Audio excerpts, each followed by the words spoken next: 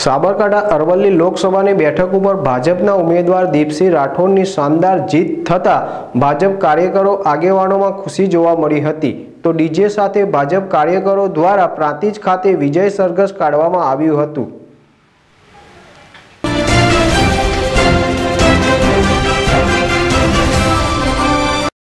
સાબરકાંઠા અલવરી લોકસભાની બેઠક ઉપર ભાજપ ઉમેદવાર દીપસિંહ રાઠોડની બે લાખ સાઠ હજાર મતોથી શાનદાર જીત થઈ હતી.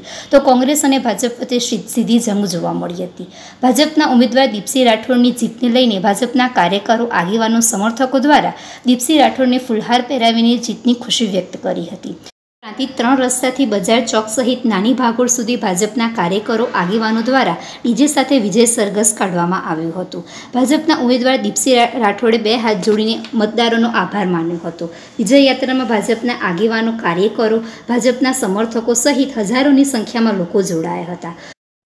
તો સાબરકાંઠા અલવરી બેઠક ઉપર ભાજપ ઉમેદવાર દીપસિંહ રાઠોડનો ભવ્ય વિજય થયો હતો. તો ભાજપે આ બેઠક જાળવી રાખી હતી. તો ગુજરાતમાં પણ મોદી મેજિક સાથે છવ્વીસે છવ્વીસ બેઠક ઉપર ભાજપે ફરી કબજો જમાવ્યો છે. મિતેશ શાહ સાથે સંજય રાવળ જેડેસ ટીવી, પ્રાંતિજ.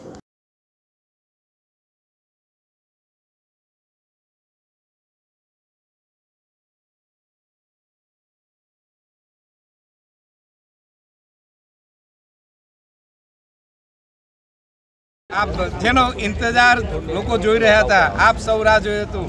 વિશ્વના બધા દેશો પણ રાહ જોઈ રહ્યા હતા અને ભારતનો હરેક નાગરિક રાહ જોઈ રહ્યો હતો કે ભારતનું સુકાન કોને સોંપા છે?